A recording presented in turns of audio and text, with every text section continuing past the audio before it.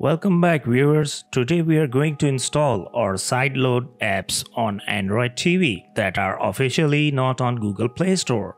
While these apps are already on your phone, they can serve a pretty useful purpose when using them on your TV. Before we begin, we must have a File Explorer app on your Android TV to install APKs. If not, then make sure to download from Play Store.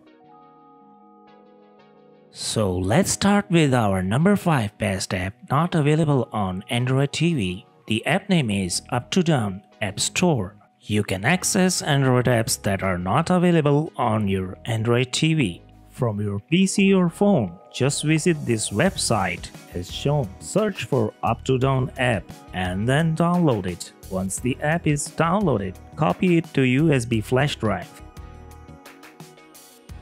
plug the USB to your Android TV. Open the File Manager app on your TV. Then go to USB storage. Locate the app and then install it. After finishing the installation, you can access Uptodown app by adding it to your TV launcher.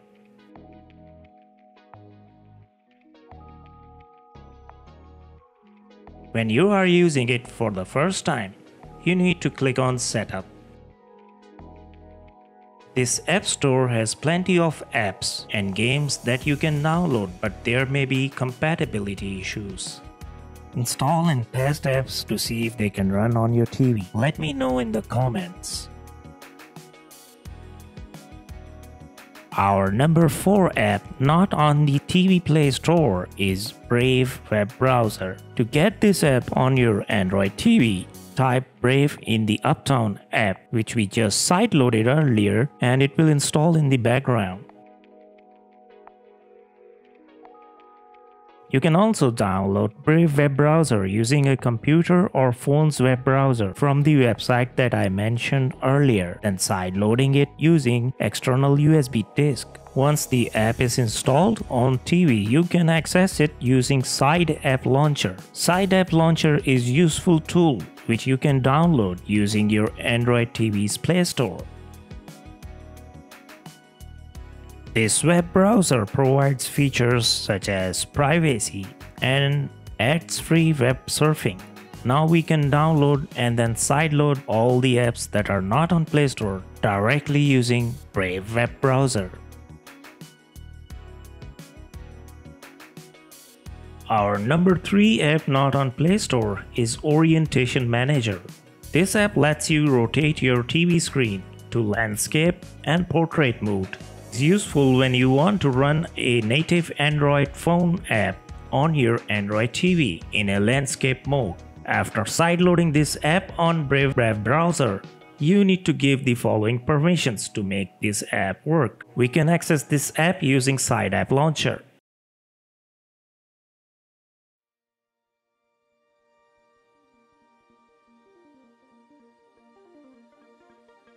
You can manually set the orientation of your Android TV or set it to auto rotate mode.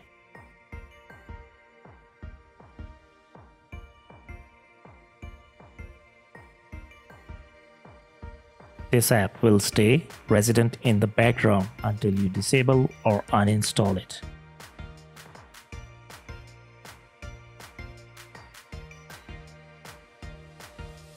Best number 2 app not available on Android TV is Redbox TV. As the name suggests, that app serves its purpose. You can get the APK file from the website shown in this video using USB method or directly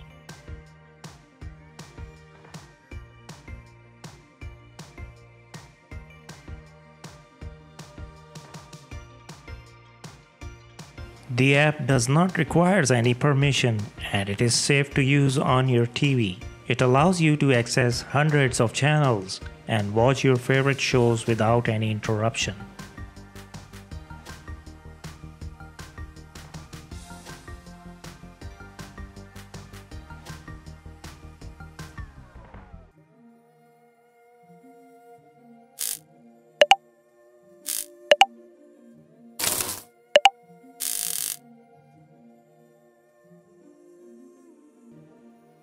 On number 1, WPS Office app just grabbed the top spot. This is officially not available on any Android Smart TV. And the best thing is that it's fully compatible with Bluetooth or 2.4 GHz wireless keyboards and mouse. You can download this app using Uptodown store on your Android TV or using USB flash disk on your PC or phone.